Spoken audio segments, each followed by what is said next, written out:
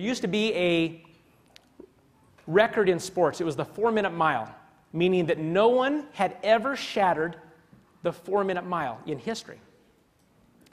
People thought it was so unbelievable that they said that it couldn't be done. Scientists, researchers, athletes across the world said that this was a record that was impossible to be broken. The human body could not ever accomplish that feat. Not until 1954, a young man named Roger Bannister came in in front of the eyes of the world. His goal to beat the record that's, that they said could never be beat. He came around that first lap, and if, if you don't run track, four times around the track is a mile. He came around that first time around the track, and the people were watching him, and they said, He's off to a really good start, but he'll never last. There's no way. The human body can't do that. He came around the second lap, and he was still keeping the same pace. And they said, How is he doing that? Well, he came around the third and he came around the fourth lap, and people said, No, no question, he'll die at the end. There's no way he'll be able to keep it up because it's impossible. He crossed that line and he broke the four minute mile, what was thought to be impossible. Something interesting happened. After he broke that record that day, what do you think happened? It got broken over and over and over again. And now the record, I believe, is 326. Success follows a formula. It does. And the second you tap into that formula, you will unlock a potential and a product and a result greater than you can ever imagine. You know the difference? It doesn't come for free, and there's a price to be paid. But you know what? There is no doubt about it that when you apply that formula, the results are certain. I remember when I was a stockbroker, I came off to a great start. I was number one in the United States in my class, rookie stockbroker, with, with my firm. And I came off to this start, and I had agents that came up to me and they said, How are you doing this? They wanted to, they wanted to know it was uh, some kind of rabbit's foot or something. And I say, You know what? There's no magic formula. It, the formula is hard work. One agent came up to you in particular. His name was Jim, and, and Jim said, Listen, can you teach me to have those results in stockbroking? Can you teach me? And I'll do every single thing you say. I said, I'll tell you what, get a paper and a pen. He came over and I said, Jim, I want you to write this down. Number one, I want you to come in every single morning and be the first one in the door. And I want you to sit in that desk and I want you to cold call. I don't care if it's out of a phone book, cold call eight hours a day. And take a half hour, an hour for lunch, whatever you need, but then be the last one out of here at six o'clock. And he said, Are you trying to tell me if I do that, that I'll be successful? And I said, Not only am I trying to tell you that, I guarantee you, if you could do that for six months, I can guarantee you, you will never have to cold call the rest of your life, and you will be one of the top stockbrokers in the entire United States.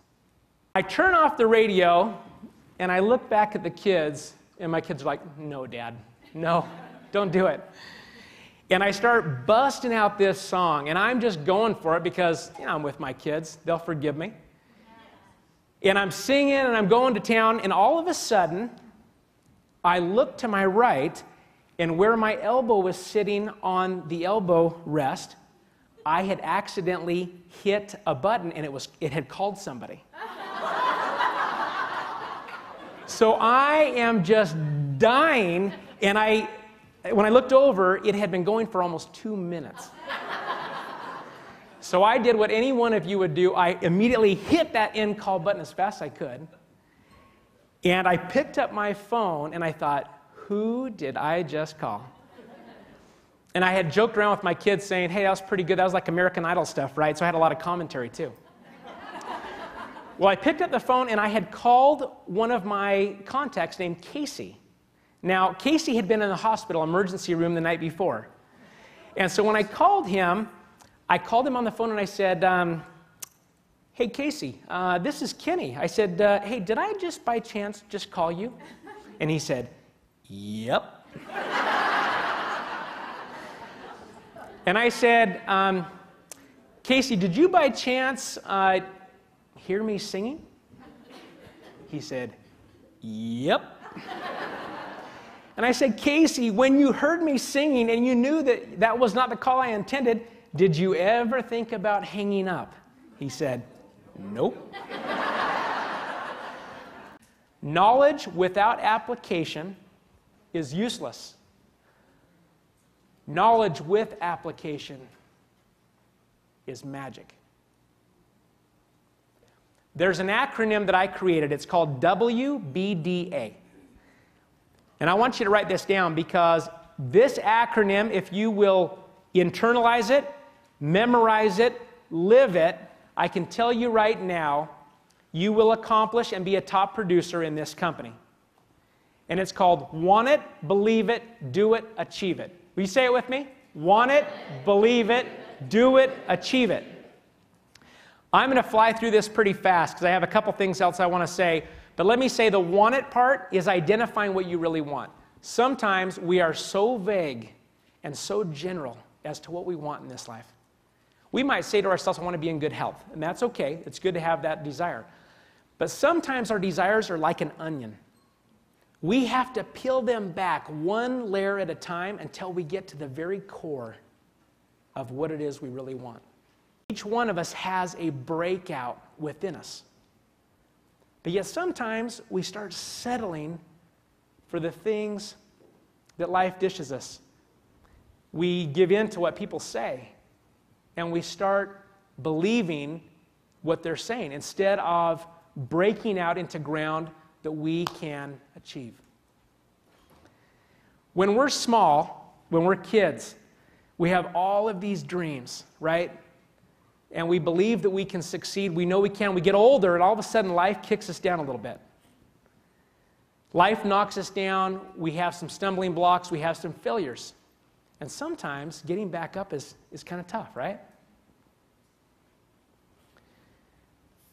Dreams are possible. Those things that you're striving here as distributors and in your life, don't settle for anything less than exactly what it is that you want. And be willing to pay the price to achieve that. Success is about contribution. I've achieved some success in my life as it's seen by the world, and I've made some decent money along the way. But I'll tell you right now, there is no success in my life that compares to the success that I try to achieve as a husband, a father, and a friend. In closing, don't settle for anything less than what you want. Go after these dreams with singular, the opportunities that are in front of you, and whether it's in your personal life or your professional life, I'll end by just saying this don't forget to dream again. Thank you for having me.